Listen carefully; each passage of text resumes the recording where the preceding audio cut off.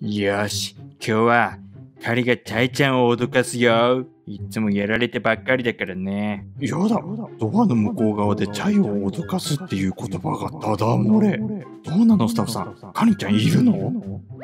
ええー、マジかよし、そうするか？来たか？メロン、メロン、メロン。おわかるぞ来るぞよし、脅かすぞなんでカニちゃん声出しちゃうの？この状況でチャイリアクション取れる自信ないよね？まだかもしれない。よし、カニちゃんが飛び込んできたら、わー、びっくりって言おう。